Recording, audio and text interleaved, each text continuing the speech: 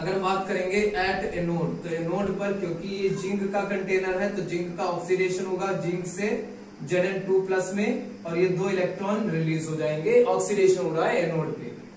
At cathode की बात करेंगे तो कैथोड पर MnO2 और ये MnO2 जो है, वो रिएक्ट कर लेगा किससे? अमोनियम क्लोराइड के आयन से अमोनियम आयन से।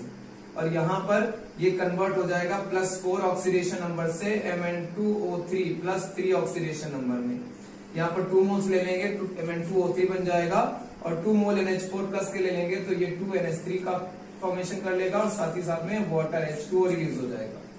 टू वन जा two H plus mean two plus electrons यहाँ पर हैं तो हम इधर ही दो इलेक्ट्रॉन ऐड कर देंगे, ये रिडक्शन को शो कर लेगा। फाइनल रिएक्शन में ये दो इलेक्ट्रॉन ये दो इलेक्ट्रॉन कट जाएँगे और ओवरऑल रिएक्शन हो जाएगी इन सेल्स की जो रेंज होती है वो 1.24 से लेकर 1.5 वोल्ट तक होती है।